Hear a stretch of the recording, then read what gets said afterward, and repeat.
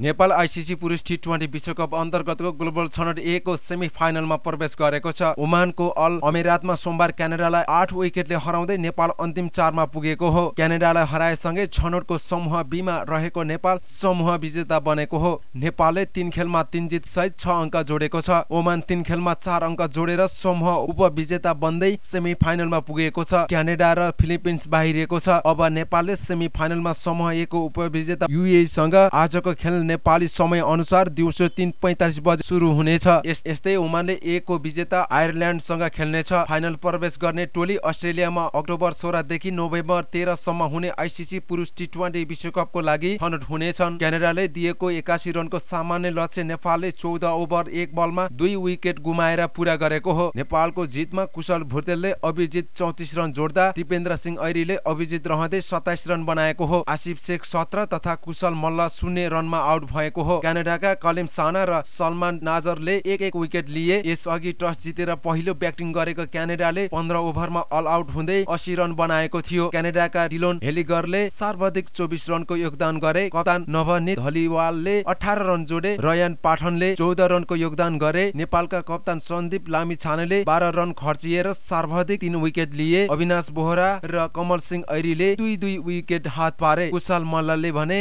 एक विकेट मात्र लिए।